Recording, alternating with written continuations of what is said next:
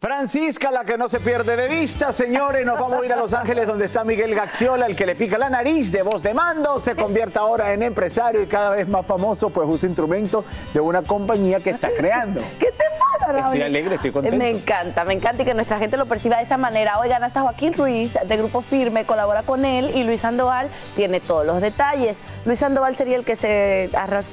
Bueno, vamos a ver. Vamos a verlo. Y ahora resulta que te sientes el más bello monumento.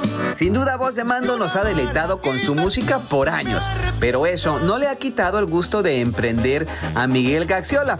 Y es que desde hace varios años incursionó como empresario creando una compañía de guitarras llamada Fortaleza, donde los instrumentos se hacen a mano de manera tradicional en Tijuana, México.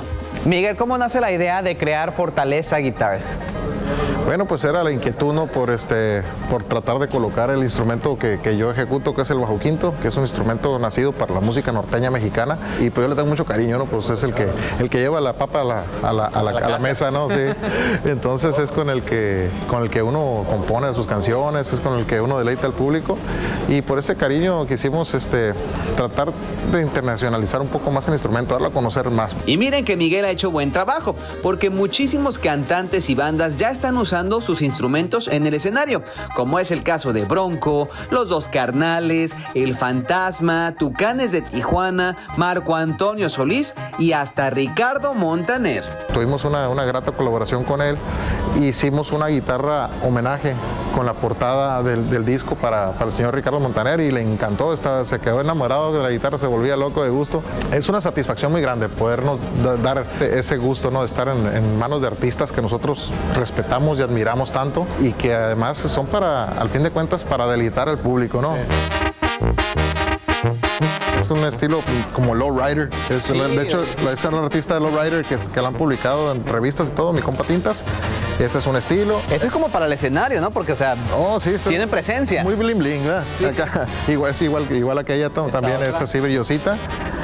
Este, también es de mi, mi compa Tintas, que es un artistazo, pintor. Y este, esta fue la primera, el primer Fortaleza que hicimos.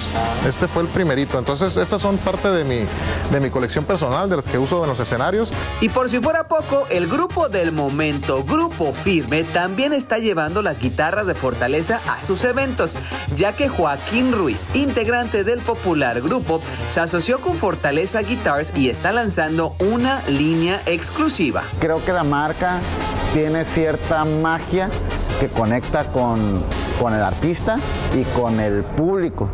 Y eso a mí es lo que me cautivó y me llamó mucho la atención. Y el resultado ahí está, la guitarra salió muy bonita, el color le pusimos verde tóxico y todavía a eso le sumas la calidad del instrumento que a mí me dejó sorprendido. Queremos hacerlo como una edición limitada porque también voy a sacar, tengo más ideas, ¿no? Y que ya se las he implementado él de otros modelos que también van a estar bien bonitos. Y tenemos buenas noticias porque este bajo sexto de Fortaleza puede ser suyo con el challenge que tenemos de Despierta América y Mando. Claro que sí, la gente solamente tiene que usar su creatividad. Todos pueden participar, pueden cantar, pueden bailar. Usen música de voz de mando ahí en las plataformas digitales y pues vayan a vozdemandotv.com diagonal challenge y pues es un instrumento profesional como los que uso yo en el escenario, como los que venden aquí en la casa del perro, que miren, tenemos una gran exhibición y esto puede ser suyo y para que lo disfruten, para que lo toquen. Aunque no sepan tocar así. No, sí, a tocar así, así Ahí lo pueden está, tocar. ahí está. Voy a participar. Y ahora resulta. ¿Qué te sientes el más bello monumento? Tin, tin. Ándale, salud. Muy bien, a expandir ese legado, ¿no? Y a participar en este challenge que tenemos aquí en Despierta América, ya lo sabe, puede ser suyo, así que esté pendiente a nuestras redes sociales. Hay los titulares de la hora. Atención.